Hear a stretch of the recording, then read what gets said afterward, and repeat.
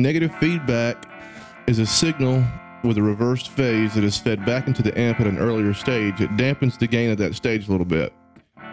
And usually, what happens is the signal leaves the output transformer and is fed back into a preamp tube somewhere in the preamp stage. Um, and that's going to go into the cathode of a preamp tube. Um, and like I've done here, I've added a pot to control this part of the circuit. Um, some people will do use a switch or something like that. But what it'll do is it'll allow you to get more headroom out of a high gain amp or a higher gain amp. Um, how it's going to affect your signal or sound or tone or whatever is going to depend uh, greatly on the circuit of that amp and how you set up the, the negative feedback circuit. Um, and I'll show an image here of a classic circuit. It's a 5F1 uh, Fender Champ circuit. And it's a very simple negative feedback circuit. Basically, you have the signal coming out of the output transformer going back into the cathode of the preamp tube. In this circuit, there's only one preamp tube. Um, and there's a fixed resistor there, and that's controlling the negative feedback. Now, you can completely omit that resistor. Um, some amps do that. The Fender, what is it, the Vibrolux, Deluxe Vibrolux Reverb, or um, yeah, the Vibrolux custom Vibrolux Reverb uh, has no negative feedback circuit in it. Um, I now have modded several of those amps to, to have one or have a variable one. but as you add or as you change your resistance in that part of the circuit, you'll get more headroom um, one way and more compression the other. Um, now, amps that don't have any negative feed, a negative feedback circuit will tend to have more harmonics. Um, whether or not those harmonics are good depends on the player, what they like to hear. But uh, those harmonics are, in fact, distortion that are being introduced as not part of the original signal.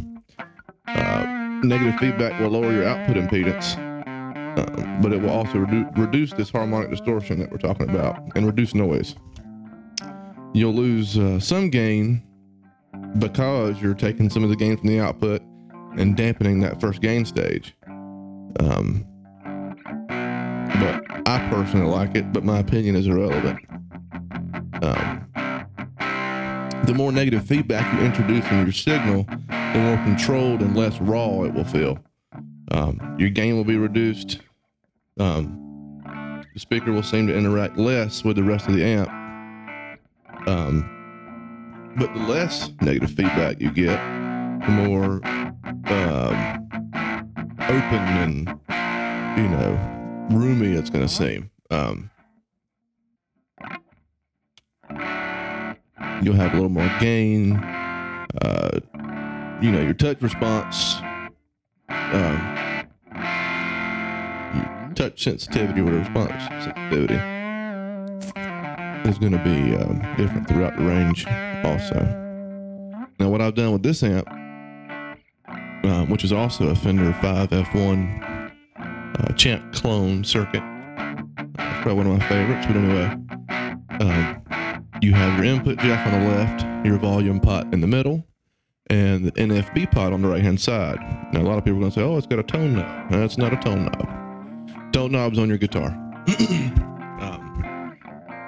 but what this will do is basically give you the ability to control what we're talking about as far as um, how much negative feedback you have in your circuit. And I have this one set up so it goes to zero. So I can turn off negative feedback completely. And it'll have more of that um, that open sound or whatever that the the Custom Vibrolux Reverb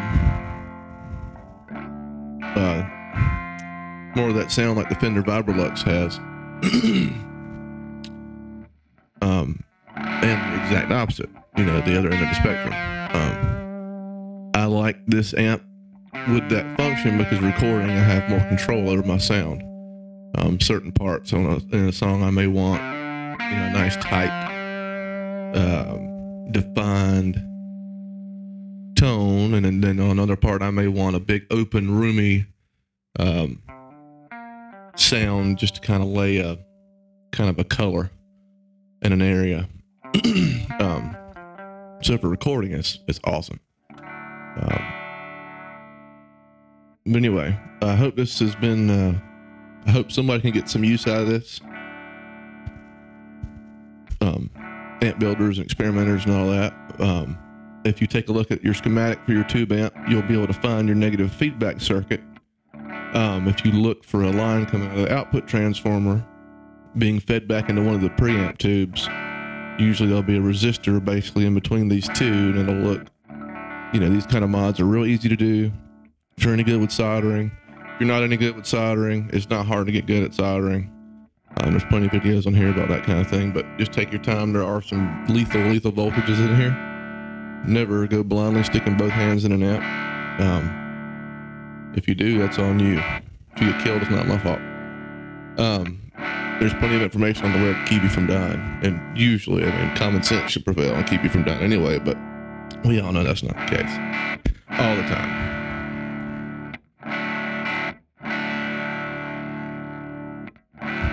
So, anyway, thanks for listening, and uh, we'll see you around.